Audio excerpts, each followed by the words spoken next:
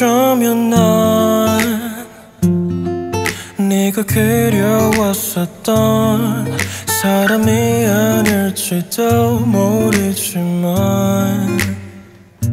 새하얀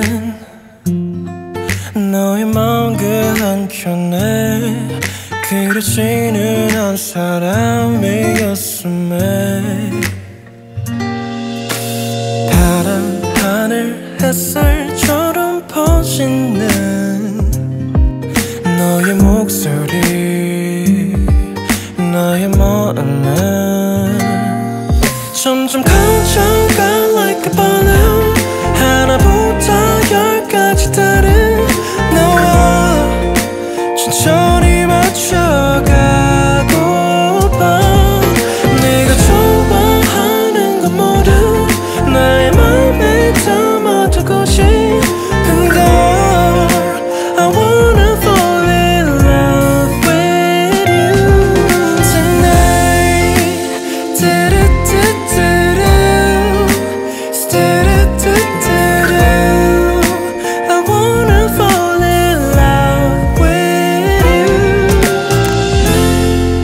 언제부터였을까?